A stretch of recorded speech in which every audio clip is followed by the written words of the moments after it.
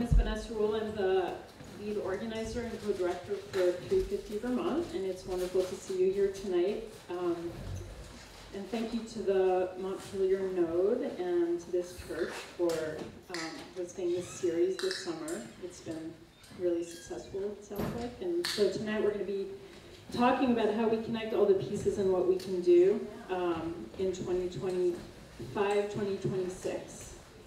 Um, how many of you here came to one of the previous series this summer? Just show of hands. Great. Well, thanks for coming back. Um, so, yeah, housekeeping, take care of yourself. Bathrooms are over here and over there. Um, are there any other needs that people have in the room that we should be mindful of? Okay, we have a video, we have a speaker, um, so hopefully you'll be able to hear, but let us know if you can't hear. Um, at the end of, do you want to pass out the next sheets now? Or, yes, do you want to? Yeah. Okay, so we're gonna pass out uh, sticky notes, and we're gonna be throwing a lot of information at you tonight, and the goal is not for you to remember it all or even understand it all, frankly, um, because there's just so much. It's really to, we want to give you an overview of sort of how we're thinking about pursuing a just transition um, and what the different elements are. And we would love to hear from you what you're most moved by and what you feel called to work on. And at the end of the of the workshop, we'll give you a chance to fill out a form that where you can say this is what I'm interested in, um, so that we get a sense of where the energy is, because we can't do this work unless people are excited about it. So um, Rebecca is passing out these sticky notes, and you can put your questions on there. If we don't get to them, we'll make sure that we follow up and answer them. Take a couple.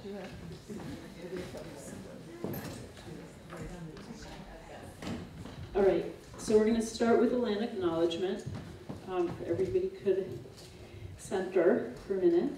Um, and I want to acknowledge that we are gathering here today on uh, unceded Abenaki territory. And as I was thinking about tonight, I was wondering what Montpelier looked like in 1721 um, when colonizers came um, to create Montpelier. And I've been thinking a lot about how, you know, a lot of what we're fighting is an extractive system um, that really started at that time where people came and decided to take from people, take from the land to produce wealth and power. And this work is about changing that relationship. It's about settling back into right relationship with the land, with each other, um, you know, with the people who belong here. So as we think about taking action together, I would ask all of you to think about what you can be doing right now to help us move back in that direction. So just quickly, 350 Vermont um, is a people-powered movement. Our whole approach is about, we believe that the people together can create change um, and that we should be, you know, having a broader decision-making table. Uh, we're guided by the voices, experiences, and solutions of the most impacted by the climate crisis. We strive to work at the intersection of the climate crisis and social justice to address the climate crisis equitably and effectively. So we're not just about reducing carbon emissions and you know re retrofitting our current economy, but really thinking about the how, like who's going to benefit, who's going to lose out, um, how do we make sure that everybody is able to move forward. And so what we want? We want healthy people, communities, ecosystems, and planet. We want affordable, low polluting energy for all. And we know that in order to have a livable planet, we need to stop burning things. So we're going to talk about that tonight. So just to, we're just going to briefly talk about our agenda for the evening. Um, so we're going to do a little more welcome and introductions and also a chance for you all to get to chat with one another a bit. Um, we're going to talk about what we hope you all, all leave here tonight with. Um, we're also going to talk about where we are now. So the progress we've made so far, um, also the, ut the utilities and what, um, how they're affecting our progress, and the work still to do. Um, very importantly, we're going to talk about what are we doing um, in the next two years and how you all can plug in. And um, like Vanessa said, at the end there's going to be um, forms for everyone to fill out with a bunch of different ways you can decide to be, be part of this and make a change. Um, so three things we'll hope you'll come away with. First of all, we want folks to leave with an understanding of why we need to stop burning things and also what we can do differently, alternatives um, that we need to be working for. Uh, second, we want folks to have a general understanding of ways we can take action in the coming couple years. And then we want folks to feel like they leave with really clear next steps for ways they can engage and take action. And Andres is going to come up and tell us about our pair share. And Andres is our um, awesome new community organizer who I'm so excited to get to work with, with Vanessa. Um, and here we go. I think I'm more excited about working with. But um, hi all, again, like Rebecca just said, I'm Andres. And so to start today's conversation, we're going to do a little bit of dialogue with each other. We're going to break out into little parent shares, maybe, you know, group up with the person who's to your left or to your right. Um, and these are the questions that we're going to start off in conversation. Uh, you can share your name, your pronouns, the town that you live in, um, experiences, and uh, what your experiences with climate action, with climate policy, environmental action, environmental justice, um, what you know and what you don't know. Um, and then the last one, let's take a little extra moment to really focus in on that. Like, how are you feeling about the impacts of energy and climate change? We're all in Montpelier, right? We know that the tragic reality of the last few years of flooding in this in this city and surrounding areas. And so how does that feel? What is the impact on your body, your heart, your mind? Um, and with that, why don't we go ahead and pair and share? And so you'll have 10 minutes? Oh yes, 10 minutes. Yeah. Five minutes each. And we're keeping a timer. We'll let y'all know when to switch. All right, well, it sounds like you have some rich conversations. Um, does anybody want to throw out something you heard that moved you in particular, that surprised you?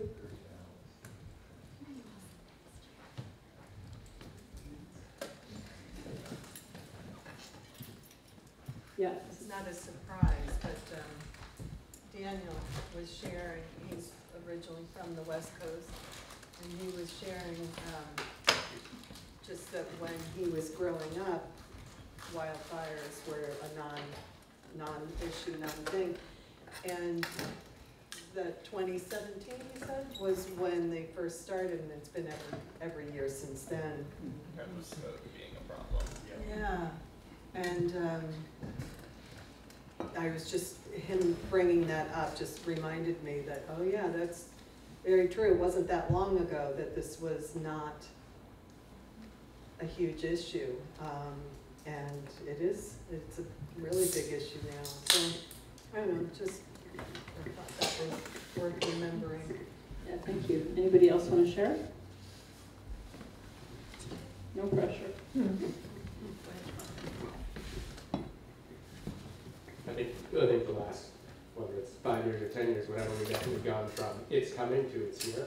Um, but one thing that I heard that I really liked was what Michelle shared with me, that uh, this is her first time at a 350 event, and um, she was pleased that it wasn't a lot of doom and gloom, which I agree with. Like, there's something motivating about, about doom and gloom, but there's also um, something motivating about coming together with a group of like-minded people and being committed to, to solutions, and not just promoting where we are today. Great, thank you. That's perfect. Um, so you all sort of covered it, right? It's happening, things have shifted, and we have to continue to work together to have hope. Um, I did want to give us just a couple markers in terms of where we are, um, if, in case you're not clear. I think one of the things we're really, um, I know when we're working on policy stuff, on anything that we do. It feels like it's gonna take some time, and we just don't have time anymore. Um, we are inching closer and closer to that 1.5 degrees Celsius tipping point. Um, the point at which, um, you know, by 2040 potentially, we will not be able to alter the course of the climate because of feedback loops. And um, this is something that I want to draw attention to because we talk a lot about technology um, and we talk a lot about reducing carbon emissions, but we don't talk a, a whole lot about protecting our carbon sinks and nature as a core component of this transition. Uh, this graph shows the rate, if you can see from like 2000 to 2022, uh, the increase in use of uh, emissions or the increase in emissions from fossil carbon, but you can also see how filled up the, um, the carbon sinks are getting on the bottom of the horizontal line, the atmosphere, land sinks, ocean sinks. Uh, apparently the rainforest is now producing carbon because it's burning. Um, so we need to protect our carbon sinks, and this is a big part of sort of what we're working on. So where's there hope? Well, we know that organized people can make meaningful change, and so we thought we would lift up a few things that we've done um, as a result of so many people like you um, in the last few years. One thing that we did was we're able to get some uh, guardrails around the use of biofuels in um, our heating um, sector uh, bill, the Clean Heat Standard, which passed in 2022. Um, last year, we worked together to increase the amount of uh, energy that needs to come from solar and wind from less than 10%, and that was a maximum of 10%, to uh, a minimum of 40%, um, which was a huge, huge progress. We took the first step at um, ensuring that ratepayers don't pay more than their fair share for energy. Um, and so the Public Utility Commission is working on that right now, and uh, we hope to have a bill in 2026 to make sure that um, that people don't pay more than 6% of their income for electricity, uh, if they're low income, or 10% if they're middle income. Um, we're giving towns new tools like thermal energy networks, which we'll talk about a little bit later. Um, we, the, there's a 30 by 30 land protection bill that requires 30% of Vermont's land to be conserved by 2030, and uh, the Climate Superfund law, which makes emission, uh, high emissions corporations pay for some of the climate damages to help us transition. So that's a lot for a little state like Vermont. And that really is thanks to all the, the pressure that people have, you know, put on legislators. Other things that we've done collectively, um, there's, I don't know how many of you have heard of the McNeil biomass plant that's in Burlington. Raise your hand if you have. Okay. So, you know, two years ago when we were talking about this, people would say like, oh, we can't touch McNeil. And now, you know, the mayor's talking about phasing it out. Um, we are building uh, relationships across um, Vermont organizations to really try to work more inter intersectionally and we're also starting to address sort of where our money is going in terms of um, maintaining fossil fuel infrastructure and calling for that to be shifted to um, low emissions solutions. So we need to keep organizing, and there are not enough of us doing this. There are a lot of us who are doing a lot, but we just need more people. Um, and social movements are what has, you know, changed the world uh, over and over again. And I love this image of the people don't need their true power because this really is how it works. And I think people forget that. So just keep that in mind. Um, the way we understand climate change um, at 350 Vermont is that it's not a technical problem, it's a power problem. Is that there's some people um, that are making decisions for all of us about energy that are focused on making profits and at the expense of people and the planet. Um, and that's that extractive approach that I was talking about before that we're trying to shift. And we understand in that like we want a seat at the table. And so we are coming together um, to, to counteract those special interests. And the way we work is we organize in our communities, like here tonight, we're gonna be holding ten more of these. Um, we have what we call nodes, uh, all over, um, the state, and you'll hear from one of our node leaders. Um, and then we pull together to raise our voices collectively, uh, with our allies to push for this transition. Um, and we're part of a regional network, um, you know, of a lot of different organizations and working in, in coalition. So we're not alone. And we're also part of a national movement um, with 350.org and People's Action and Third Act and others. Okay, so I'm going to pass the mic to Heather. Hi, I'm Heather Johnson, and I'm a Calais resident.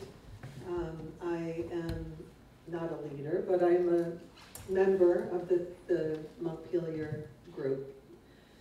Um, we, I started, I joined about three years ago when this chapter of this group started up, and really I just was probably like a lot of us feeling very um, worried and concerned and the weight of the responsibility of the future was just weighing heavily on me. And this was a way to get involved and plug in. Um, and it definitely helped me focus some of those feelings and feel like I was doing something.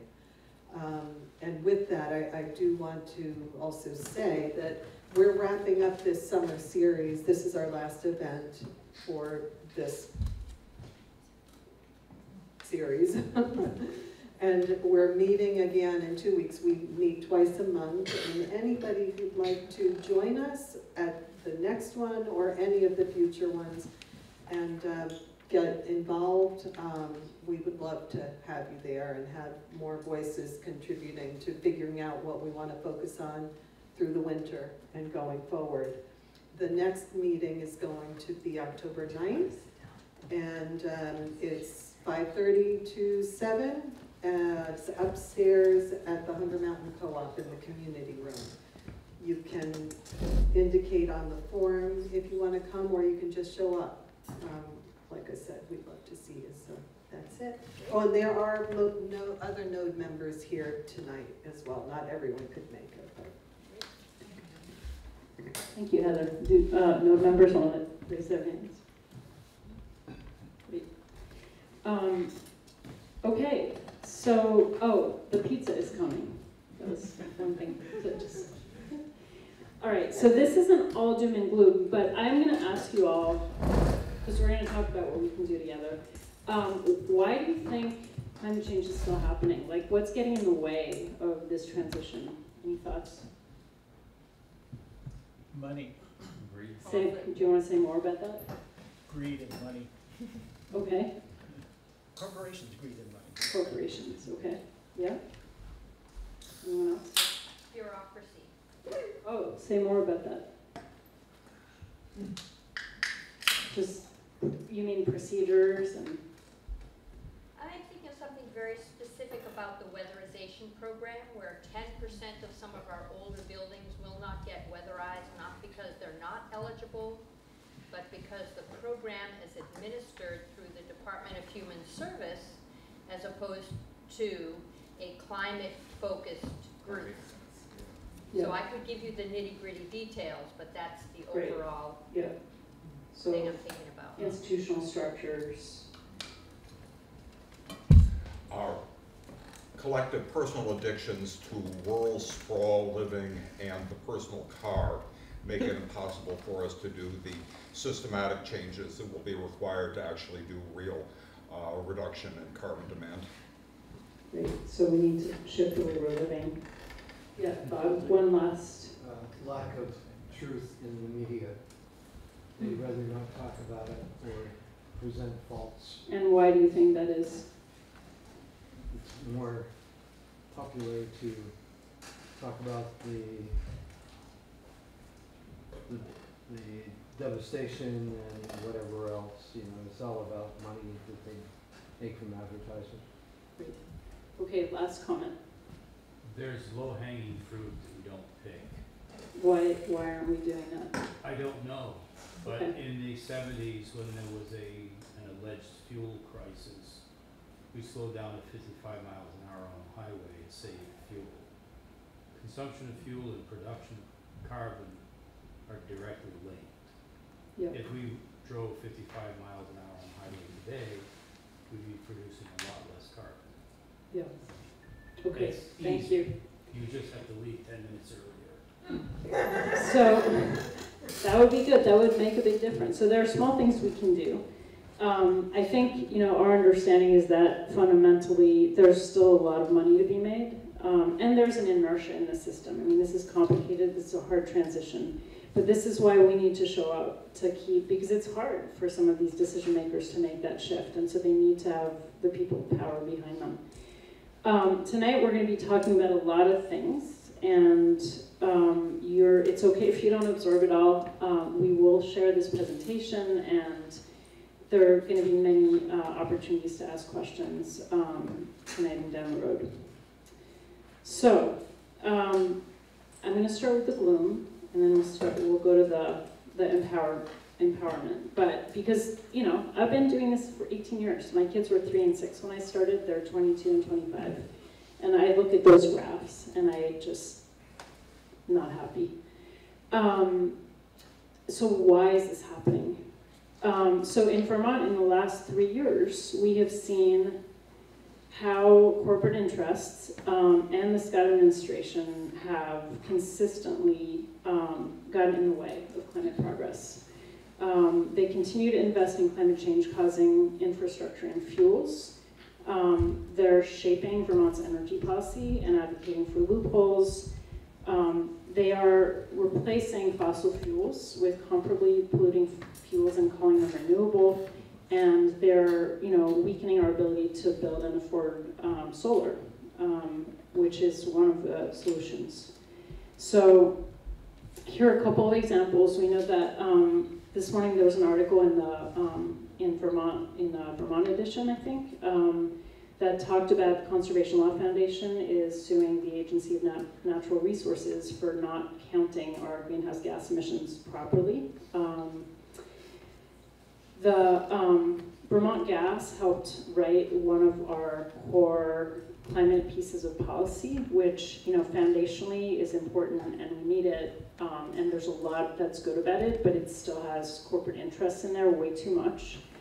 Um, you know, in 2023, when uh, new legislators were elected, um, they had a week or a few days with Green Mountain Power, and that's how they learned about the energy system. So, who is in the state house uh, framing the issue?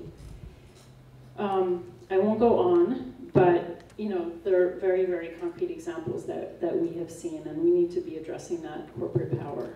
Um, I want to focus on one thing. You know, one of the things I showed earlier is the importance of carbon sinks, and Vermont is a very thinks of itself as a progressive state, which in some ways it is.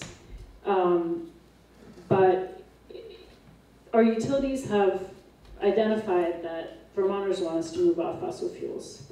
And their plan is to replace those fossil fuels with biofuels. And those are incredibly polluting. And so we need to make sure that, you know, when we have something like the clean heat standard, that weatherization is, um, is what's opted for heat pumps, thermal energy networks, geothermal. Um, because otherwise what we're gonna do is spend this very narrow window of time replacing one really bad source of fuels with a really bad, another bad source of fuels. Um, I'm not going to get into too much detail, but um, we do have some examples. Um, this is uh, Vermont Gas just signed a contract with the largest landfill in New York State um, to bring what's called renewable natural gas, um, which is basically gas that um, is actually by law mandated to be destroyed at that landfill so that it doesn't go into the atmosphere. Instead, it's going to get piped in that red pipeline, which is a leaky pipeline because pipelines leak. And this renewable natural gas is methane. It's not different from frack gas. And Vermont Gas gets to get credit for that as renewable energy. Um, and that sort of offsets, you know, some of their, that, that moves to that, um, to them meeting that, that, um, clean heat goal. So we don't think this is a really viable source of, um, of renewable energy. Um, same thing with liquid biofuels. Um, there are some biofuels out there that are, you know, better than others and not as emitting as others. The problem is that the demand for biofuels globally is huge because aviation, a lot of, you know, countries are going to biofuels. So when we in Vermont take a portion of biofuels off the market, that gets replaced by the cheapest source of biofuels on the planet, which is palm oil. Um, and palm oil is um, grown, um, you know, in countries like uh, Borneo and Malaysia, um, and destroying rainforest. And then finally, we have utilities that are still investing in uh, burning wood. And, you know, we're not talking about um, wood stoves. Uh, we know that wood is a big part of Vermont's culture and at scale. Uh, wood is really polluting. And I think a lot of people think of it in this way that, well, you grow a tree and then like the carbon gets reabsorbed. The problem is the rate at which that happens. Um, so, you know, with fossil fuels, you have, um, you know, you're increasing emissions. Uh, wind and solar, no increase in emissions, and uh, wood actually is still increasing emissions. So that is something we really need to um, nip in the bud because we are seeing uh, new projects pop up all over the place um, to burn more wood. Okay. And then who's financing all this stuff? Um, so there's money, you know, people say, well, it's going to cost a lot of money to transition. Um, right now, our utilities are, um, since 2010, have gotten paid $143 million to keep um, peaker plants open, which are little plants across the state that are there just in case um, we end up using more electricity than usual, like on the hottest or coldest days of the year they run less than um, than one percent of the time, and we think that those plants should be shut down, as they are in New York State and other states, and that we should be investing that money in low emissions um, sources like weatherization and geothermal heat pumps, etc. Um, and then the last thing I'll say is that burning things has huge environmental impacts. So it's not just about the climate, it's about people's health. Vermont has some of the highest asthma rates in the country uh, because of the use of biomass. Um, and a lot of these um, fuels are, and plants are uh, placed in, um, in low income and often communities of color um, communities. And, you know, we need to be thinking about um, who is uh, holding the burden of our energy use. And in Vermont, you know, there are something like 48 gas plants across the New England region. There's not one in Vermont. So like these lights right now uh, are in part coming from natural gas. And somebody's kid is hurting right now as a result. Okay, so you know our question is to our elected officials and our power companies is, are you going to keep investing in burning infrastructure and polluting? Or can we start using that money to help us transition to clean and just energy? So, um, how do we do that? Um, we're going to cover that, so we're going to go a little bit more into sort of what we need to do to stop burning things this year, and then what can we do um, to put us on an alternative path. So the first thing we need to do is conserve. Um, I think you talked about the fact that we can't, you know, we're consuming too much. Um, I think it's something like 5% of the population in the US is consuming 25% of the world's resources. Um, there are lots of things we can do, like weatherization, uh, demand response. Um, we need to make this affordable for everybody. This can't just be accessible to wealthy people uh, which right now it is. Um, I live in Strafford in the Upper Valley, and you know something like 35 families pulled their savings together to build a solar array, which is great, but that's not accessible to most people. Um, we need to uh, basically electrify. That's really how we stop burning things, and we need to make sure that that electricity comes from, from solar and wind. It's really not that complicated, and Jonathan is going to tell us about what that looks like in Vermont um, in a little while. And the last thing is we need to stop burning things. Like we need to get on a path to shut things down. We can't do it overnight. We need to make sure that the workers, you know, for these plants have good jobs. But it is crazy at this point in time that we're continuing to add carbon to the atmosphere and signing deals um, with landfills that are going to keep us emitting carbon. Okay. Is it your turn? I think it's still your turn. Oh, okay. I can, I can actually go over this if you want to. Yeah, that would be good. Thanks. So that was a whole bunch of stuff that we want to work on. Is anyone a little overwhelmed, or like mildly? Or are we just are we going to do it all? The general state of affairs. Um, so what are we going to do it- this year, over the next couple of years? So these are our priorities in terms of tangible things that we can work on, hopefully all of us together. So on the stop burning side of things, we have de-incentivizing biofuels in the clean, heat standard. So that's um, making sure that those get counted accurately in terms of what their emissions effects are throughout their entire life cycle. Um, getting utilities to commit to shutting down all of those plants that burn things. So we're talking about McNeil and Burlington, the Ryegate plant, all the peaker plants, um, and to basically stop putting in infrastructure that is going to continue to burn things. Um, what do we want to create? What do we want to see? So we want to see affordable community solar.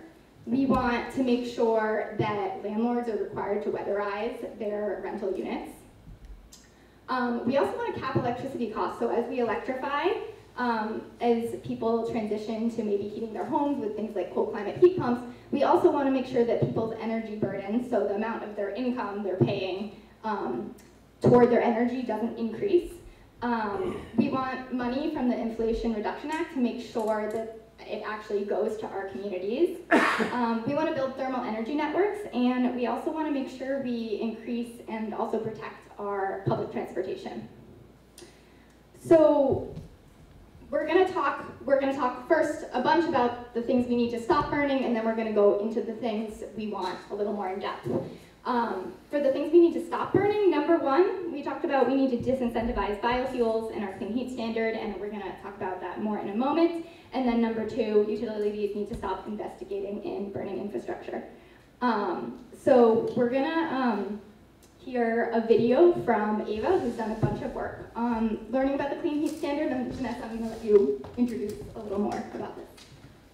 Yep, so before we start, um, I just want to acknowledge that a lot of people have put a ton of work into the clean heat standard, and one of the big goals of that policy is to regulate fuel dealers, which is incredibly important.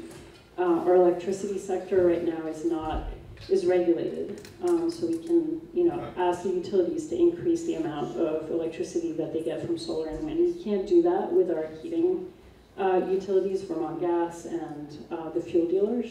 So that's critical, but we need to make sure that what is considered clean heat is actually low emissions.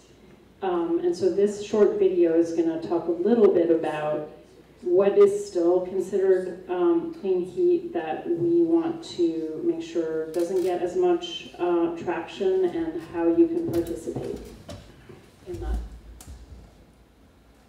Hi everyone, my name is Ava Morgan. I used to work um, at Mass and I Battery seventy percent. Connection to REP CCA three five zero. standard. I'm here to talk to you about the Clean Heat Standard, our concerns with it, how corporate interests have played a role in influencing it, and what we can do to make our voices heard and, and tell the Public Utilities Commission that we need to stop burning things for fuel. Um, and we want cleaner solutions because we, we have them and we can incentivize them. So a little background on the Clean Heat Standard. Um, it's, a, it's a framework uh, and the goal is to try and reduce the thermal sector emissions that we have in Vermont now. So the thermal sector is mainly hot water and heating buildings. Heating buildings is, is a main part of the thermal sector. Um, they they want to do this by regulating the fuel dealers and our gas utility. Uh, so under the Clean Heat Standard, the amount of emissions that a fuel dealer can produce is limited. They can either reduce their emissions um, or they can buy their way out of it. Uh, so it's a credit-based system. So by reducing their emissions, they can gain credits, or they can buy those credits from other entities who are generating the credits. So how do you generate the credits? You generate credits through um, 12 clean heat measures that are outlined in the law. Each source of clean heat has a value, and, and that value is determined by the amount of pollution it gives off throughout its life cycle. So these emissions values for the clean heat sources are being decided right now. There are a few different issues that we're going to outline, and I'll give you sort of an overview of them now. The first is that biofuels and hydrogen are included as clean heat measures. The second is the way that biofuels and hydrogen um, emissions factors are being calculated right now. And the third is that corporate interests have played a huge role in influencing this bill throughout its lifespan. Um, so let's get started on talking about the first issue, which is that biofuels and hydrogen are included as clean heat measures. Um, we know there's a lot of science out there that points to the fact that they actually have really high greenhouse gas emissions. Um, they have really negative impacts on our health, and they have really sort of important, grave environmental justice implications. Um, so they are included along really clean and important solutions like heat pumps, like weatherization, and like thermal energy networks. So a little background on what biofuels are. It's liquid, it's solid, and it's gas fuel that is created through organic material. This includes renewable natural gas, biomass, and biodiesel. Um, we'll, we have um, a bunch of information in the back about uh, each one of these sources. We don't have time to get into it too much right now, but um, we do have more information in the back. And again, these sources of fuel are false solutions. They pollute as much as fossil fuels. Some, some research say, says that they actually pollute more. Um, they are not scalable, they're costly, and they're extremely inequitable. Um, and because they're using the same systems that we run on now, they will allow fossil fuel companies to continue to profit off of polluting our air and exploiting our earth and exploiting frontline communities. This is not the route that we want to go. Um, a little bit about hydrogen. Um, putting hydrogen into our pipeline actually increases our emissions and ensures that we continue to burn things. Um, hydrogen will often be blended with gas, so it's continuing our reliance on fossil fuels. Hydrogen is a really powerful greenhouse gas, um, and so you know allowing it to leak out of our pipelines um, because we do have a very leaky pipeline infrastructure will increase emissions. So, you know, all in all, biofuels and hydrogen are not clean heat measures, they're not clean heat sources, and they are counted as such within the clean heat standard. Unfortunately, we can't remove biofuels and hydrogen from the clean heat standard at this moment, but what we can do is we can try to make sure that the emissions from biofuels and hydrogen are counted accurately. This would deter fuel dealers from using biofuels and hydrogen and push them towards real solutions like weatherization and heat pumps. Because the amount of credits that you get from, from executing one of these clean heat measures will determine how much they're incentivized. So Unfortunately, we know that already emissions aren't being accounted accurately. So that is problem number two. Problem number one was that we're including these in these bills, and problem number two is that they are not being counted accurately. The gas and biofuel industry have done a great job at greenwashing biofuels and hydrogen, um, and a lot of the industry standard models inaccurately count the emissions from burning biofuels. Um, the models consider the emissions when burning the biofuels biogenic, which means that are, they are released from organic matter. They count them as part of the, the natural life cycle of it. Um, but we know that's false. Um, human activity has a major impact on um, the release of greenhouse gas emissions from this organic material, um, and so not counting these emissions is extremely inaccurate.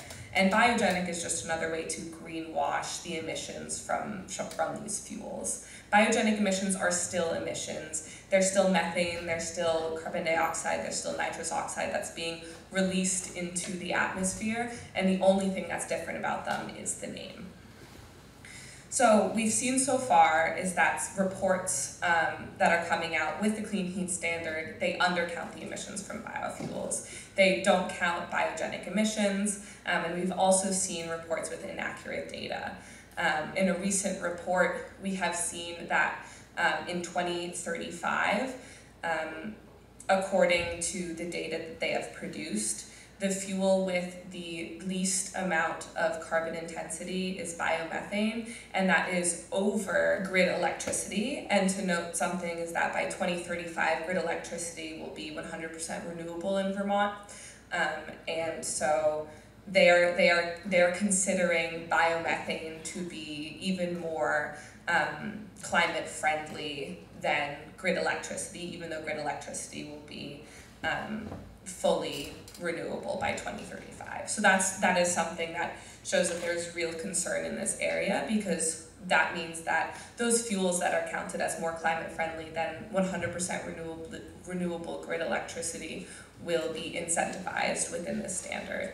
Unfortunately, we can continue to expect these outcomes until we stand up and we make our voices heard, and we will get to how we can do that um, right after this. Problem number three that we have is the corporate interests that have been influencing this bill from the start.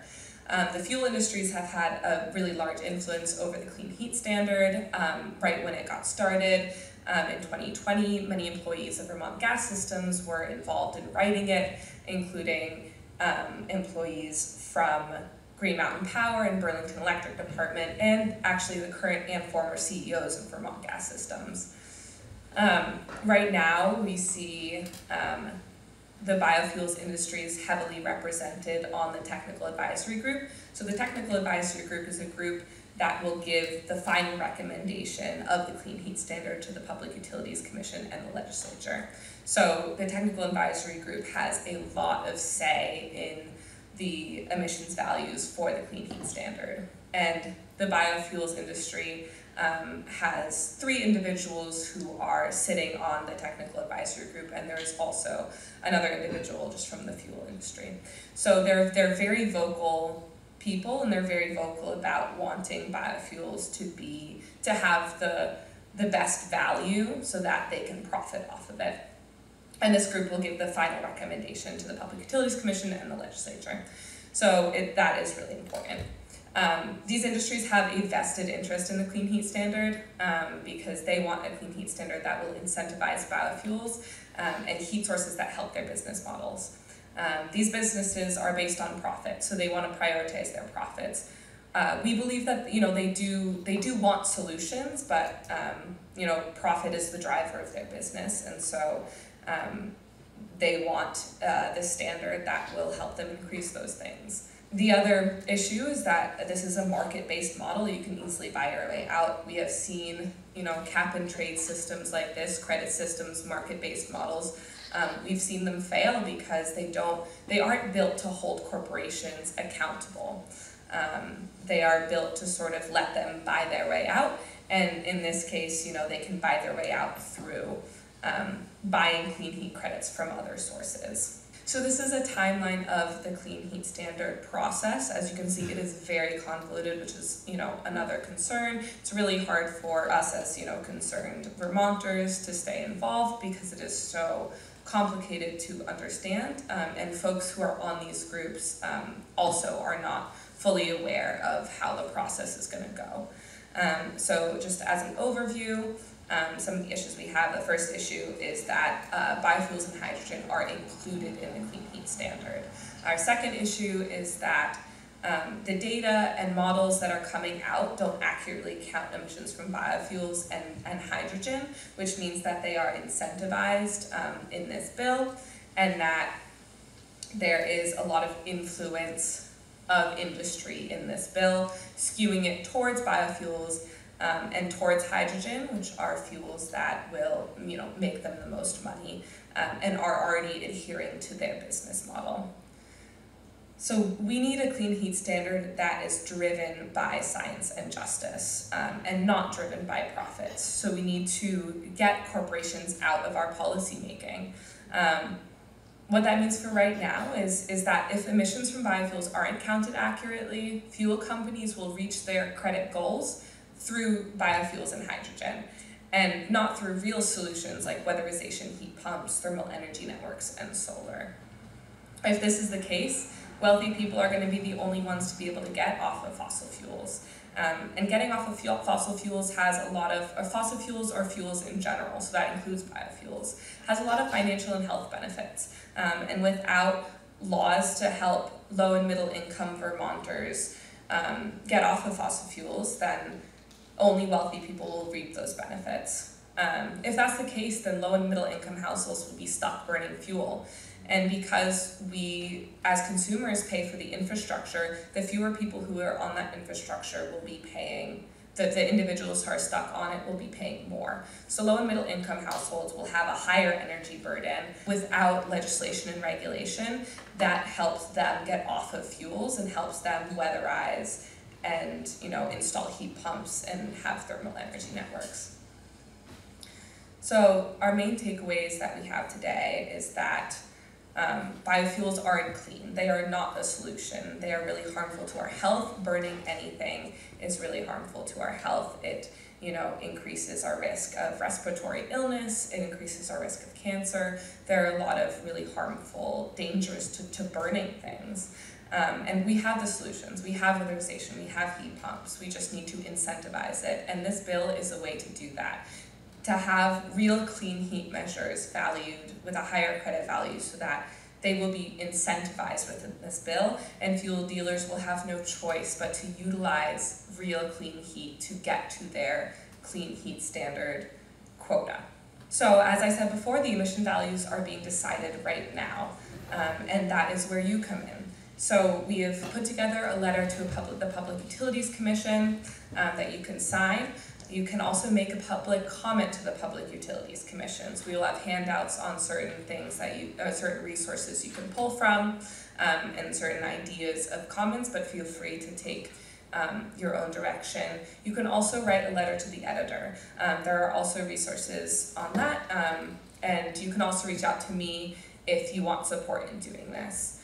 Um, you can also sign up to learn how we might engage with this during the legislative session. Um, the Clean Heat Standard will go back to the legislature um, this next session and they will ultimately decide whether they want to pass it through or if they want to, to stop it. Um, and then you can also sign up to be part of our Clean Heat Standard team that is working on the issue. Okay, that was a lot of information. Um, so to be clear, the Clean Heat Standard is, you know, a tool that we need. Hi everyone, Oops. my name is Ava Morgan. Um, we just really need to make sure that the, the things we don't want in there are not in there. Um, so that's the takeaway. Um, Vanessa, do you want to pass these around? Petitions? sure, go ahead. So if folks want to sign the petitions now, um, about, um, how the, um, PUC is gonna. Hi everyone, my name is Ava Morgan. I use she Can I see and this? and I am organizing the group. My name is Anna and Oh, yeah. There we go. Um, and also, if people don't wanna like, you can look, the letters on the front here, if you turn the page, there's a place to sign. If you don't wanna read a whole thing right now, we will also send a link to this so you can look at it in your own time and decide if you wanna sign it digitally. And all the things Ava mentioned, we, you will have forms at the end where you can check off like, yes, I wanna do this thing, so you don't have to hold it all in your hand. Okay. That was a lot, and that's basically, you know, sort of the main takeaway right now is we just can't transition from fossil fuels to these other things, and there's a huge amount of advocacy right now to do that. Um, and the fear is that we're gonna get these fuels in place, and then we're gonna, you know, basically say we're done, like we have fixed the climate problem in Vermont, uh, which is sort of what happened in our electricity sector, um, and thankfully we're working to fix that. Um, so just quickly, I'm not going to belabor this because we really want to move to the positive, exciting stuff and what we can do. Um, but there are people working in Burlington. Uh, we have a node in Chittenden County that's actively working to stop the uh, McNeil biomass expansion, working with the city council. Um, so that's something that's happening. And then there's another thing. There's a, proposed biomass plant in Lyndon uh, in the Northeast Kingdom um, that is currently expedited, uh, fast-tracked without any public process uh, or public comments. And so we're working hard to uh, extend that to a regular public process. And so if you know anybody in the Northeast Kingdom who might be interested, uh, please let us know. We have a petition out there that's on our website. Um, I think we've gotten over 300 signatures. Um, we want to deliver the signatures by next Tuesday to the Public Utility Commission. Okay. Um, this is a new thing that's also popping up. This is really like playing whack-a-mole. Um, we're sort of tired. Um, there's uh, talk of pipelines in Addison County um, that that is being that's sort of rear its rearing its head again. Um, and so we have our Addison County node is working on that. I wish I had more information for you about that, but um, I'm just learning about it. But that was what they had a few years ago, right? Yeah, yeah. So the good thing is we've done this before, but we need to do it again.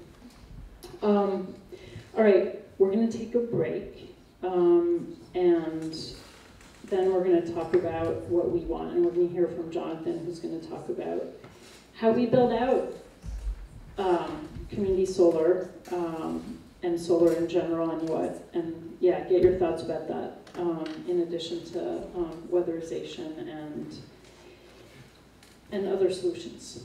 So thanks for listening. We'll be back in five minutes. So this is the part where we get to talk about like what do we want to create and what do we want to see. Thank you, Vanessa. Um, actually, if you want to pass that pass that around, um, that Vanessa has our sign-in sheet. If folks can make sure they sign in. Um, so what do we want to see? One thing, that, have folks heard about the cancellation of the um, the between Burlington, the bus between Burlington and Montpelier? Has anyone heard of that? No, I didn't realize. So Oh, oh.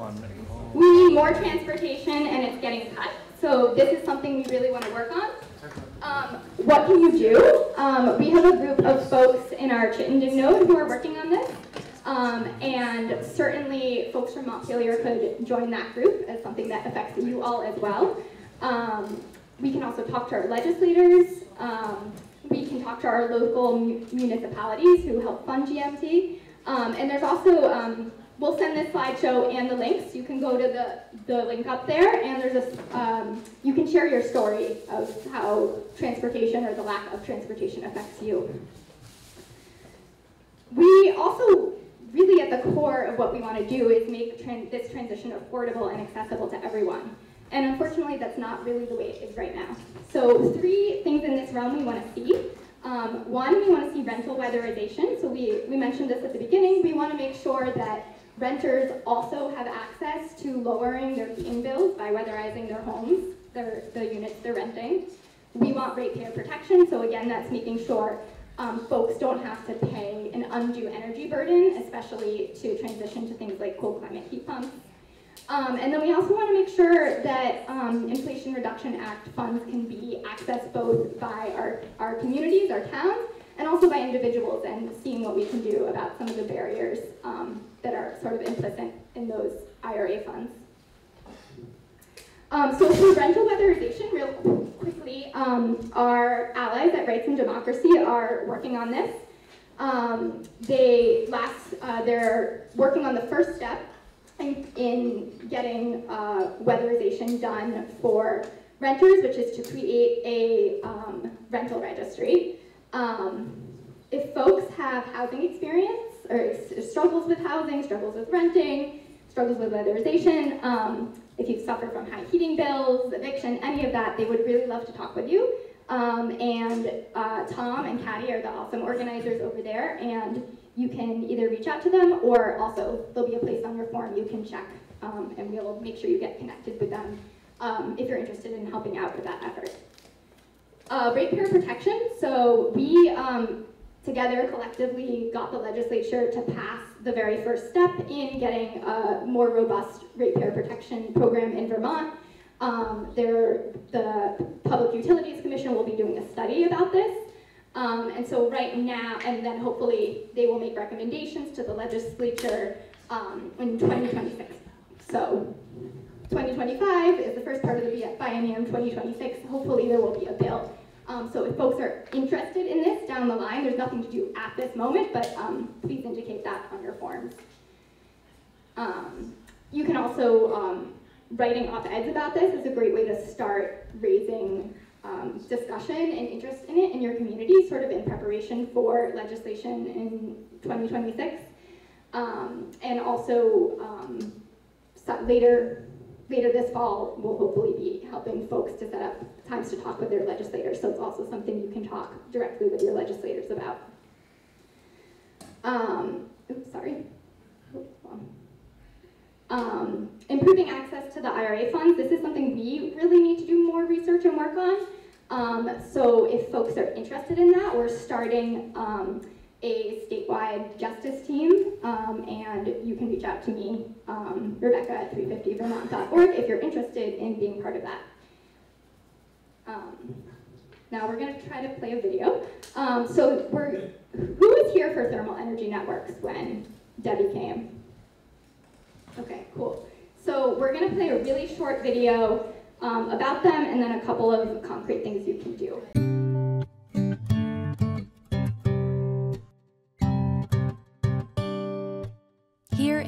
Vermont, heat is a precious resource. We put a lot of time and effort into staying warm in the winter. And we pour a lot of energy and money into making, moving, and saving heat. Meanwhile, all kinds of heat is available for us to capture, move, and share to keep our homes and communities warm. This heat is right under our feet, not far underground where the sun's energy warms the earth to a constant temperature. It's also venting from large buildings like hospitals and hotels, from grocery stores, ice arenas, factories, and breweries. And it's flowing down drains and out of our buildings, carried in the water we warm up and use every day. Luckily, it's not hard to recover that heat and reuse it in thermal energy networks. We can find the temperature we need underground at about the depth of a water well. We can also harness it from building ventilation or wastewater. This thermal energy is carried to our homes and businesses by water and a network of pipes. Vertical pipes access heat from underground and return unwanted heat to the earth to be stored as needed. Horizontal pipes not only share heat between buildings, they also capture the heat that's venting from buildings and flowing in wastewater systems, adding it to the network. These pipes form closed loops that move heat where it's needed. Inside, a ground source heat pump amplifies that temperature for heating and hot water. In the summer, the heat pump ejects heat back underground to make buildings cooler, storing that heat for next winter. Using existing heat means less drilling, making thermal energy networks more efficient and cost effective. An ice rink in Vancouver provides heat and hot water to nearby buildings, the equivalent of 43 homes, by sharing heat that's removed during the freezing process. Maintaining the ice rink is now two to three times more efficient and dramatically reduces fossil fuel use. Another neighborhood in Vancouver is cutting greenhouse gas emissions from buildings in half and meeting about 70% of its heating and cooling needs by recovering heat from a wastewater treatment plant. Lake Louise Inn has cut its propane use by 60% by using wastewater to offset how the resort heats hot water for laundry and guest services. Thermal energy networks are community infrastructure, much like water and sewer systems. We have familiar ways to provide these services that also apply to delivering clean heating and cooling. Thermal energy networks also complement other clean energy solutions. Many Vermonters are installing air source heat pumps as an important house by house way to heat and cool efficiently, save money, and lower emissions. In town centers and new developments, we can install thermal energy networks as a community scale solution to help more people access and afford clean energy. And we can pair thermal networks with solar to supply local clean electricity to run the system. Experts in clean energy, finance, policy, and planning are working with state and local leaders, businesses, and community members to implement thermal energy networks and help more Vermonters across our state access affordable, reliable heating and cooling.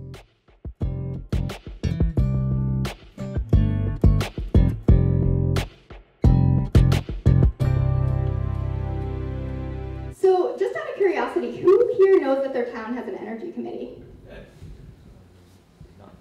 So, if you are interested, if you're intrigued by this idea of thermal energy networks, maybe your town is already doing this, maybe they're not. The first step is really to go to your energy committee and talk with them about it. And um, Debbie New, who we work with a lot, and um, whose passion is working on this is really happy to come to your committee, your energy committee, and do a whole presentation. Um, we'll send some follow-up resources about this, like step-by-step guides on how, for example, an energy committee would think about if does this work for our town, does this make sense? Um, I've seen this happen in my town, and it really just started by the energy committee having Debbie New come, and it's totally taken off. I'm in Northfield, so. Um, also, um, yeah, all, all this information we'll send out to you. My computer might be frozen.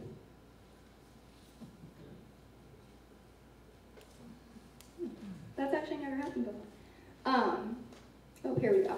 This is the, this is like the, the next big chunk for us. So um, Jonathan is here behind me, all ready to go from Renewable Energy Vermont. Um, he's going to take us through um, what uh, electric, electricity from solar and wind could look like.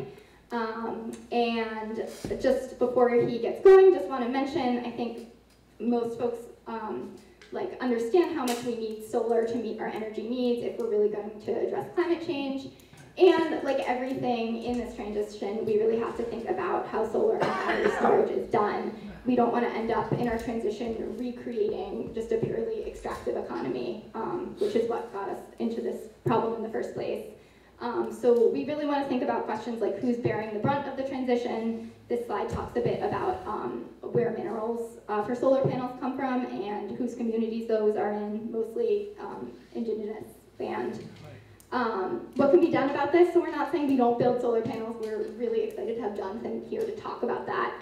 Um, but we need to just be careful about how we do it. So we're thinking about ensuring ethical supply chains, decarbonizing the manufacturing process, improving panel material and efficiency, and also really thinking about recycling and reusing, and then also just going back to what we talked about in the beginning, using less, having, instead of electric cars everywhere, having mass public transport and those sort of, sort of things.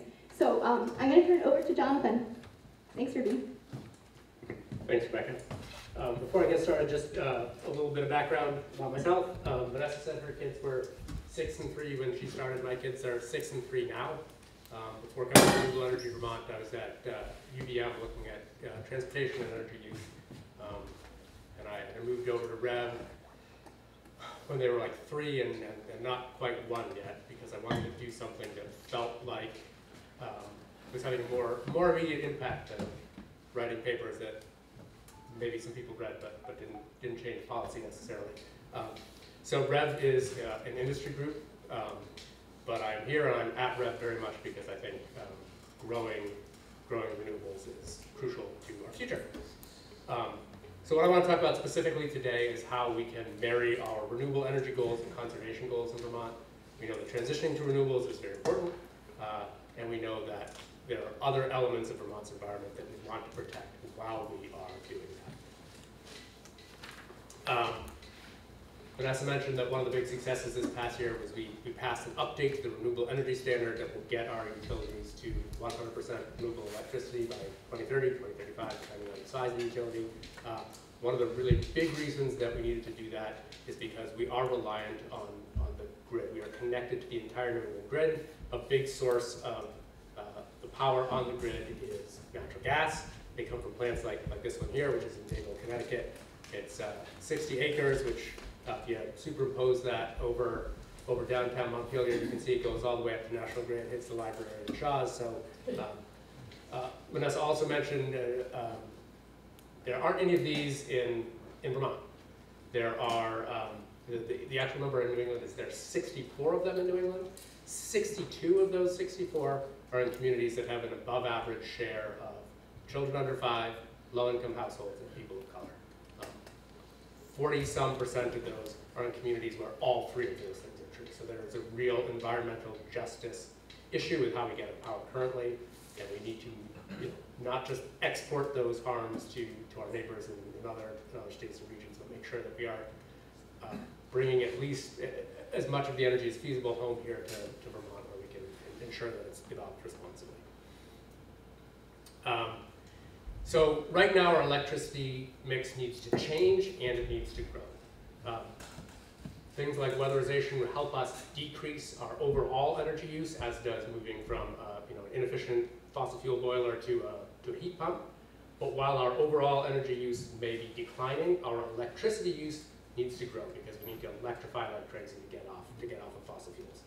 Um, the uh, spacing here is a, a little wonky, but but this shows where our utilities actually buy power from right now. And there's one green slice here. This uh, in the upper upper right there. That's 19% of our power that uh, utilities currently buy from wind and solar. That's really the only part of our fuel mix that we can grow and meet our, our climate goals. The rest of it is things like system mix, which includes those fossil fuels, nuclear, um, biomass, large hydro. Those are things that um, we probably don't want to increase their production scale, and even if we did, we can't grow them as fast as, as our demand is going to grow as we electrify. So it's really all about how do we grow wind and solar uh, to clean up to clean up the grid. Um, one part of that was updating the renewable energy standard. Uh, we're now shifting from the, the energy that um, utilities physically purchase, where the electrons that go onto the grid come from, to a system, again, like the Clean Heat Standard that's credit-based. So in order to comply with the renewable energy standard, utilities have to retire RECs. Um, the quality of, of, renewable energy credits uh, varies. But what this bill did that we think is really good is it increased the amount of them that has to come from new in-state renewables and new regional renewables. This is what Vanessa mentioned, where we're going to be getting by 2035, 40% of our power from new wind and solar. Um, and this is the stuff that drives development and that forces natural gas off. 60% of that is, is still renewable, but comes from sources that are more ambiguous in their environmental renewable. Uh, comes from sources that are more ambiguous, um, again, to be, to be generous in their environmental value. So uh, we don't see this, this um, composition as, as being static over time. We want to continue to grow those top two slices. The new in-state uh, requirement, which will likely be met primarily by solar, and a new regional requirement, which will likely larger, uh, be uh, things like offshore wind over time. So we want to grow those and shrink the share of the pie that comes from those, those existing renewables. Um, great first step. We're going to keep pushing. All right. So given where we are right now, what would it look like in Vermont to meet that in-state requirement, which remember says we have to get by 2035, 20% of our power from relatively small in-state power sources. Well, right now we come from a mix of rooftop and backyard solar under the net metering program. Um, this kind of solar has really minimal impact on green spaces, um, but is a higher cost to build than uh, the megawatt scale solar arrays. Probably a, a on average, a, a, megawatt would take about five acres, five acres of land. Um, these larger projects have the, have the, lowest cost to ratepayers. If we continue doing the backyard and, and rooftop at the same rate that we are doing it, we would get about 15% of our in-state power from that and about 85% from these from these larger uh, larger solar arrays. It would take about 1,800 acres of, of space outside the, the built environment. To, to put that in context, uh, 1,800 acres is uh, roughly the size of Vergennes. Um, the plan would not be to clear all the houses out of Vergennes, pave it over and put solar panels there, but of course those would be, be spread throughout the state. Um, but there are, there's some other, other things we want to consider as we look at marrying our, our renewable goals with our conservation goals. So one is that we want to be protecting high value habitat green spaces. This is something that REV supports as well as broader environmental community. But we also want to recognize that the push to electrify and to get more of this power from in-state instead of importing it from, from that plant in Connecticut that's in a neighborhood of, with a bunch of low-income kids. Um, recognize that, that some impacts in Vermont are, going to happen. That's you know, kind of part of part of the bargain of reducing the environmental injustice that we're, that we're pushing out elsewhere. Um, uh, just uh, another slide or two about what that 1,800 acres under the status quo would look like, and then we're going to talk about what are some policies that we could do that would reduce that 1,800 acres and take some of the pressure off of our off of our green spaces. Um, first, I want to highlight that uh, our our forests and our farmland are legitimately facing real development pressures in Vermont. But then in both cases, that's really coming from um, sprawl, essentially, you know, residential development. Um, From between 2001 and, oh, that bottom number is wrong there, I'm sorry, that should be the, the bottom number should be 2016 to 2040, but between, between 2000 and 2040, the, the Farmland Information Center estimates that we have already lost and will continue to lose um, 61, 62,000 acres of agricultural land to, to low density sprawl primarily. Um, in, in contrast, uh, the, the solar projects that were built in Vermont in 2022 that were bigger than 250 kWs, these are community scale projects and above, um, impacted fewer than 100 acres of, of primary ag soils. This is not to say that we're content to, to drop 1,800 acres on, on ag soil, um, but to point out um, where, where, the, where the biggest threats to that, that soil is. Um, similar, very similar issue on, on forest land, uh, where a Harvard study found that we're losing about 1,500 acres a year to, to, to sprawl. Um, uh, we lost four, fewer than 45 acres of, of land covered with trees, not all the forest, not all the high quality um, too. Um, and, and especially with regards to forest, this, this solar is less of an issue there because it's less uh, appealing to build there because you generally want to be away from forest blocks, want to be close to load, uh, don't want to have to do that clearing. Um, however, we also know that we can get that 1,800 acre number down if we change the policy. This is what we would get likely under the status quo, but nobody said we had to be content with the status quo. Um, so I want to talk about a couple of options that can help, help bring that number down. Um, uh, the first two I want to talk about are uh, community solar and also anything that reduces our load geothermal networks, um, weatherization efficiency, all those things. Um, on community solar, because those projects tend to be smaller in scale and they can be community owned, both of those things could facilitate integrating these projects more into the built environment uh, in a smaller footprint, and so you, you don't you could build them you know, between existing buildings rather than being a, a multi, multi-acre um, swath of land. Um, the construction costs of these, as I mentioned, are, uh, are, are or I should mention, are lower than residential projects. You do have some economy of scale there, but higher than the, the megawatt scale projects. And it's a form of development that the Department of Public Service and the utilities have opposed because they would rather do it with that megawatt scale where the construction costs and therefore the cost of the utilities are the lowest. Um, lots of lots of other good values around it though, so we are we're definitely interested in promoting and protecting that. But but that's that's the counter message that that um, legislators are hearing. Um, thermal networks, weatherization, and efficiency uh, all reduce load, all reduce our demand for electricity, reduce uh, the amount of new renewables we build.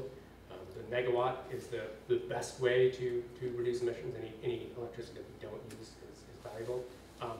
But again, while we're going to be reducing our overall energy use from technologies like this over the next decade, decade plus, um, that is also going to be growing our demand for electricity specifically. So we're going to be reducing energy demand from fossil fuels, increasing it from electricity. Uh, so even as we push harder on these, we're still going to see low growth um, uh, on the electricity side. Um, and the, the, existing targets are in, in, in, are relatively aggressive, so being able to surpass them, absolutely something we push to push for, um, not necessarily easy. So what, what would these two things um, say?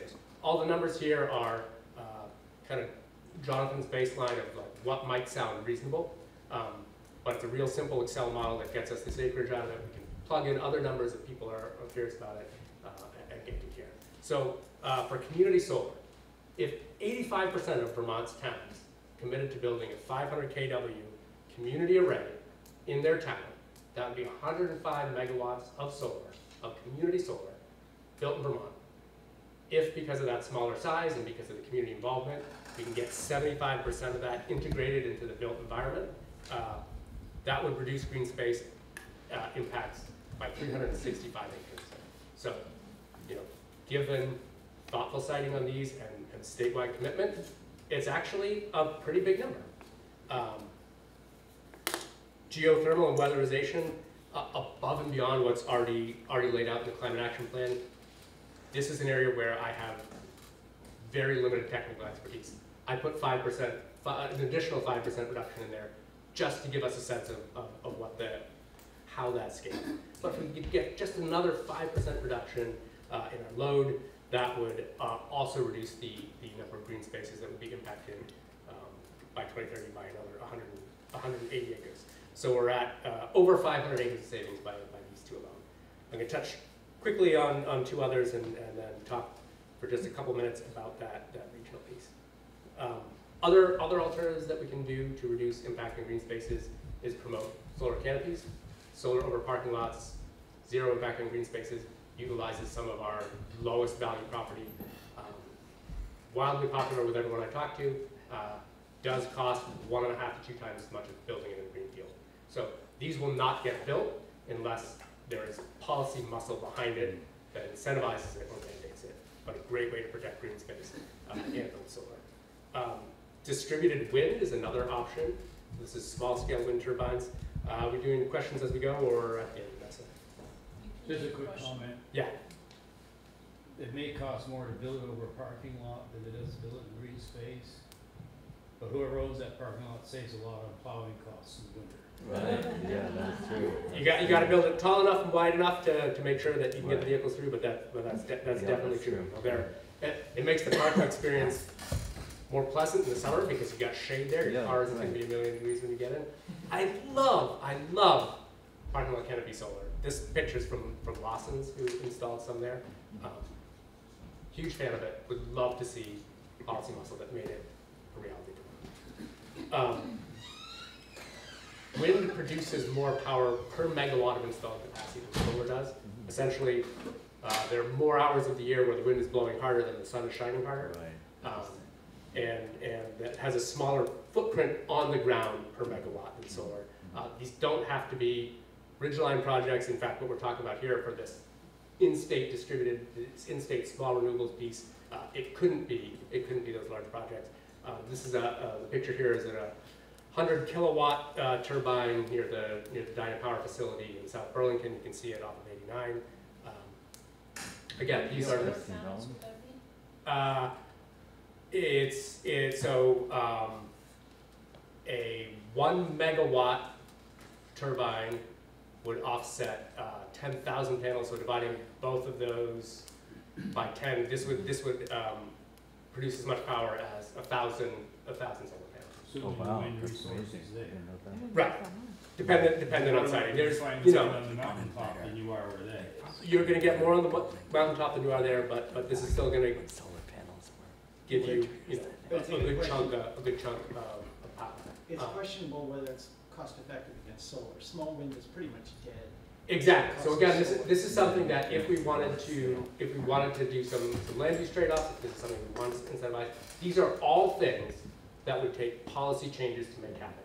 Under the status quo, what we're gonna do is we're gonna continue to do net metering on rooftops and backyards, and we're gonna build projects that are probably three to five megawatts in size, because those are most cost effective.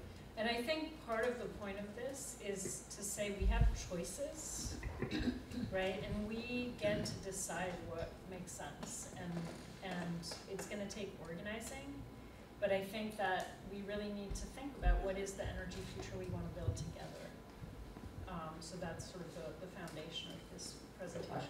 One more question back over here, and then Dan will get you, get you next. Jonathan, what about like the, the commercial building policy that requires commercial buildings and government buildings to have solar? I mean, all those new buildings went up in Burlington, I don't think along, you know, near the whales tails, I don't think any of them have solar. So, you know, what kind of policy, is that a policy we could potentially pass? Yeah, there are, there are some um, in Vermont that have done solar ready, at least. I, I, don't think there are any that have said solar required, but they've said that the roof must be solar ready.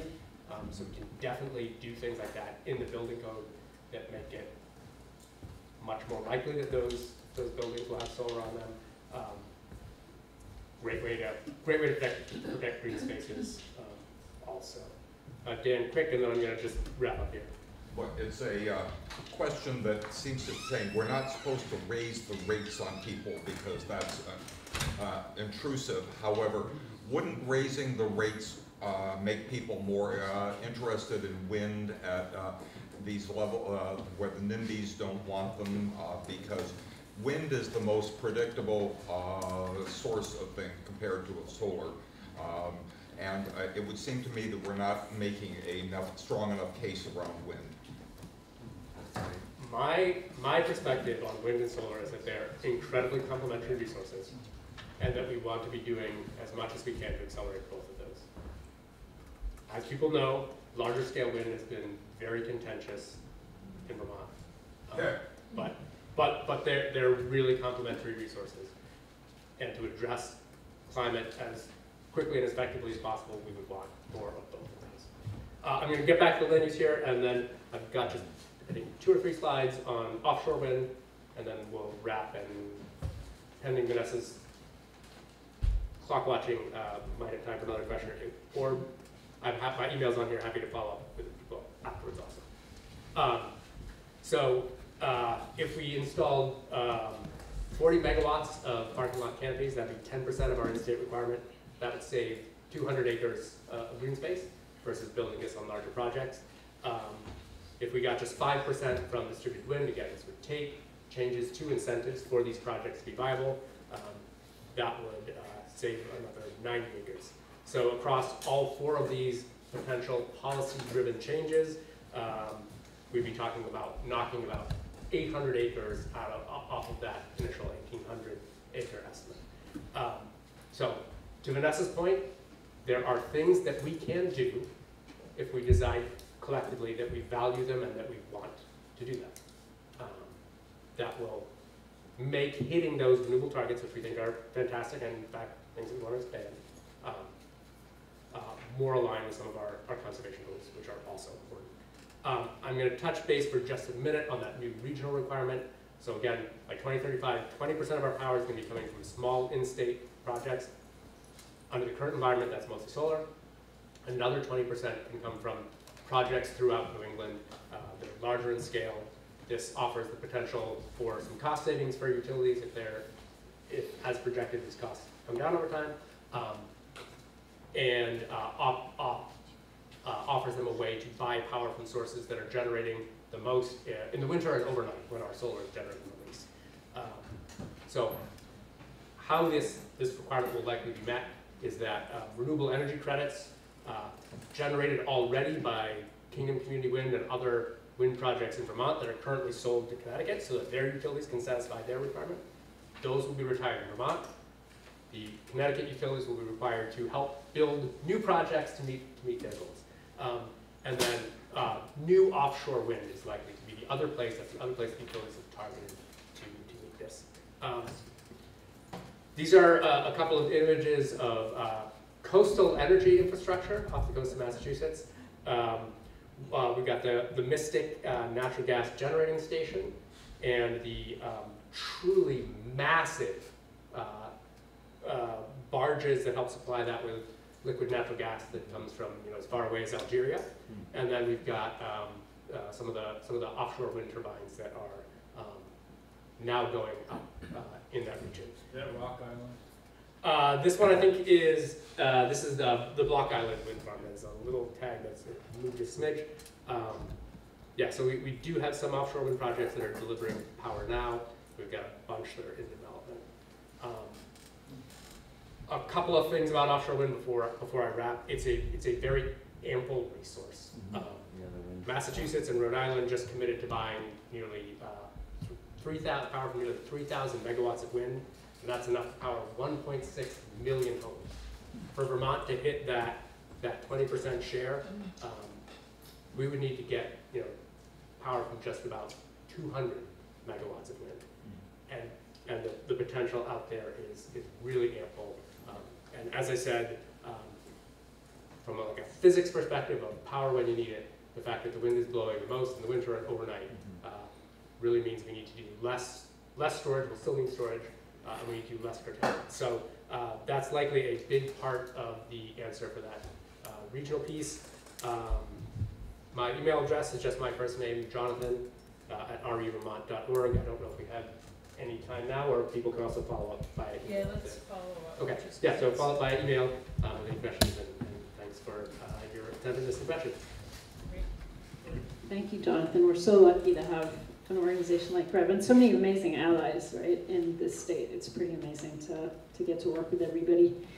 Um, so you heard a lot of information tonight, um, and I'm sure it's getting a little bit overwhelming, but um, the point is that there are so many things we can do. What is getting in the way of us getting there is just not enough people asking for it. So we really want to encourage you to get involved if you're not already. Um, and I'm going to pass the mic to Andres. So, um, yeah, there's some handouts that Vanessa's going to be handing out um, where folks can sign up and check a box to indicate what particular issue you want to tackle if you're interested in. Mull on it, think about it a little bit longer. Um, we're excited to work with each of you in ways that feel like connect to your heart and your energy, what excites you, what motivates you.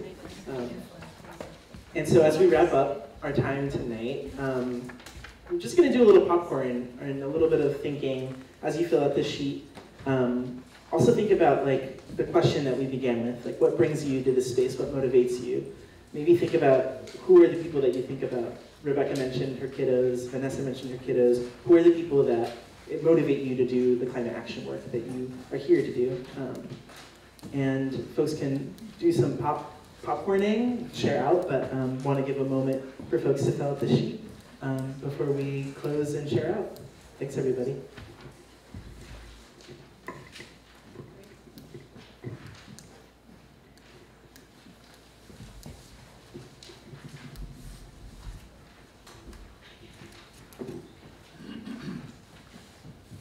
Does anybody need a pen?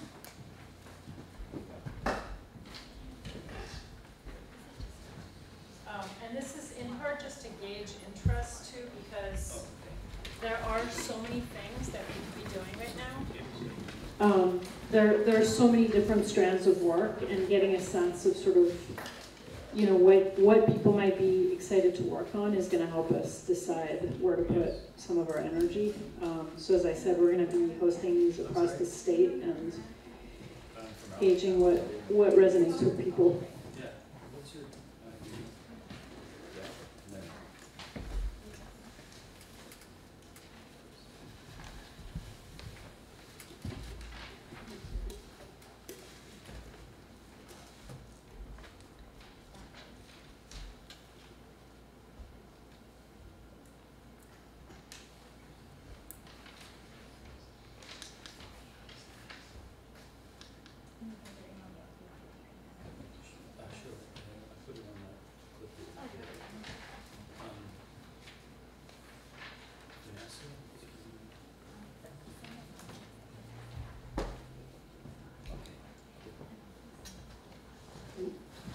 Can just drop off the, the form if you filled it out um, on the table before you leave. I did forget to say on the solar front that one of our big priorities this session is to introduce a bill to make community solar affordable. Um, how many of you heard last year that um, this thing called off-site group net metering was taken out of the renewable energy standard? So um, basically, the utility said, yes, we'll increase the requirements for solar and wind, but in exchange, you need to take offsite group net metering out of the, out of the standard. And that thing was basically how community solar was funded.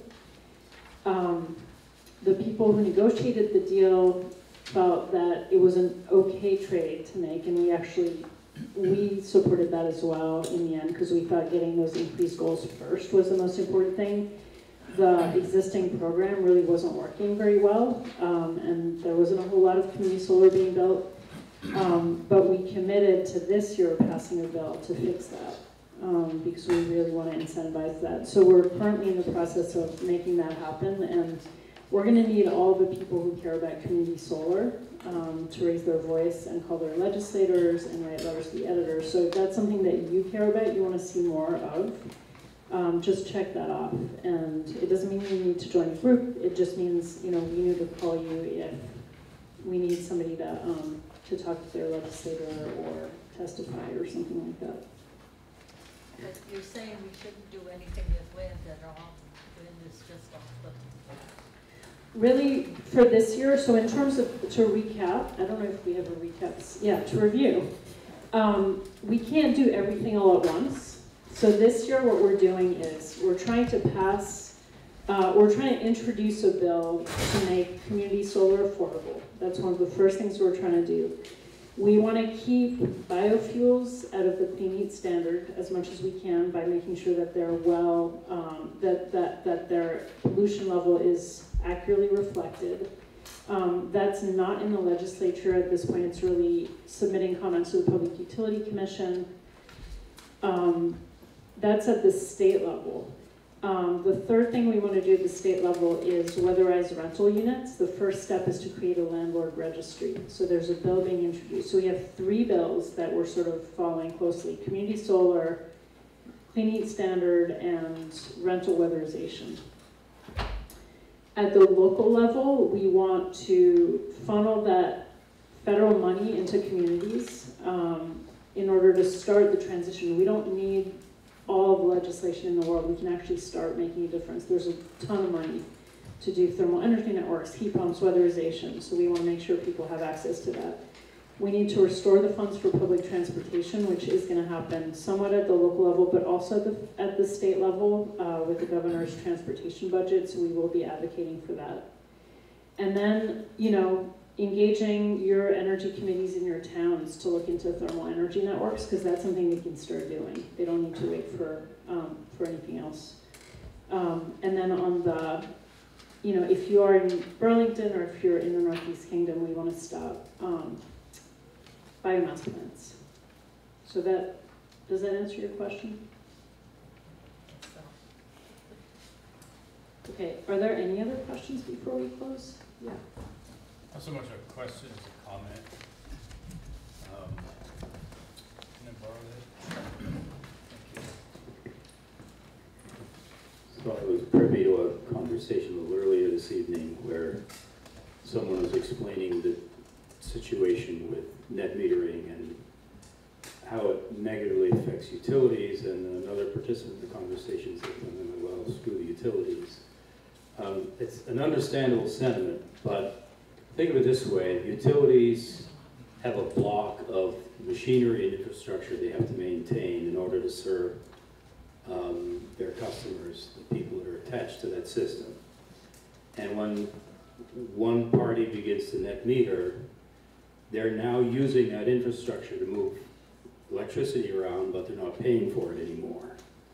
And then when another one does that, there's another party that's doing that, and eventually you get to a situation where there's ten or twenty percent of the people attached to the system that are using it to import electricity when they need it and export electricity when they don't need it, but they're not helping financially to support the system any longer. And that's why the utilities don't like it. Right. It's not just because they're money grubbers and want to, you know, enrich their stockholders. It's because it just, it's an unsustainable model. Well, GMP is being enriching its stockholders, especially the front of Uh, it. Could I, could I, could I finish, please, without the interruption? So, Just two more minutes, because it's Yeah, eight so I think the impetus behind getting rid of new, uh, group net metering is because those are kind of like, you know, um, getting the low-hanging fruit, getting the ones that really do the most damage to the bottom line, number one. And number two, often with group net metering, the array's in one town and the off-taker is, you know, 50 miles away. And that involves a whole lot more infrastructure than when somebody has an array on their roof and the off-taker is under the same roof. So my point about it is the legislature loves unfunded mandates. They like to make stuff happen without having to raise taxes because raising taxes gets them booted out of there. So what they do is they make the utilities pay the cost of subsidizing solar. And that's why we have this problem with net metering. If we um, socialize the cost of net metering and just simply said, we're gonna raise the funding we need to incentivize people building solar without passing expense onto the other ratepayers who don't have solar, then you wouldn't have this shift of cost going on to the folks who aren't paying, who aren't net meterers. And it's a, there's a much more to the story than that, but I, I don't like the fact the utilities vilify net metering, but I also don't like the fact that in a group like this, we're vilifying utilities as if they're the bad guys in the room, because, you know, say what you want about, um, privately owned um, corporations, they do have to make some money. And cooperatives just simply have to ma- remain solvent. No, totally, that's a point well taken, and to be clear, the, um, the utilities that, so in Vermont, we have one, Green Mountain Power is a cor- corporate-owned utility, it's owned by a gas company in Canada, um, Gaz Métro. Yeah, Gaz Métro and then beyond. Um, the utilities that pushed up, pushed against offsite group net metering were the small publicly owned utilities, and for the reasons that you say. Um, that's why we said that the offsite group net metering wasn't working well, because it really wasn't incentivized, it was too expensive. Um, which is why we're interested in introducing a bill, because we still need community solar, but that wasn't the way to do it. Um, so, Well, it's, it's fine to put a, a solar array in some dump somewhere where that it's not gonna do any, it's not gonna do any damage to the view shed because it's already ugly, and have that, the off-taker be fifty miles away, as long as the system is set up to pay for the utility to move the electricity back and forth. The current system Yeah, doesn't do that. some utilities have more power than others and more True. money than others. Um, and so I think, you know, we are still talking about corporate profits and, um, you know, it's really hard to imagine a for-profit utility saying, oh, we're going to, uh, shift the way we do business when they're accountable to the next quarter shareholder earnings, uh, which really is how it works. So anyways, I just want to close off uh, the conversation. Thank you for being here tonight. It was a lot of information. Um, and if there's one thing you take away is that there's a ton of work to be done and um, this isn't going to happen without people power. And so we really invite you to join us. And um, a lot of the work that we do is actually at the very local level. Um, this is really big picture that what we shared tonight to try to say like, here's you know how this all fits together. It was one rubber meets the road. But really where the rubber meets the road is in your community uh, with your local node, and we really support nodes to work on what they're interested in working on um, in a way that's consistent with our statewide goals. So, Heather, do you want to say anything before you close, or Becky, you want to say something? A question, um, Go ahead. are, are you going to be sending us like a recap or something of this meeting? Yes, we'll be sending um, the slides. I think Orca Media has recorded the meeting, so you can always go back to that. Um, you can talk to Andres or myself or Rebecca. Rebecca is actually the organizer for the Montpelier area. Um, and so, and we have a lot of resources uh, on this table over there, info sheets and things like that. Any other questions before we close? Can I add something, Vanessa? Yeah. Just housekeeping, if you have your forms, please make sure I get them, or Vanessa or Andres. And also, if you have sticky notes with questions, if you can make sure your name and contact info is on there in case it gets separated from your form so that we know who to get back to. Um, and thank you all for being here. Um, and I'll stick around, so please come talk to me too if you're in Montpelier and, uh, or in Central Vermont and want to get involved. Thanks, everybody. Good night.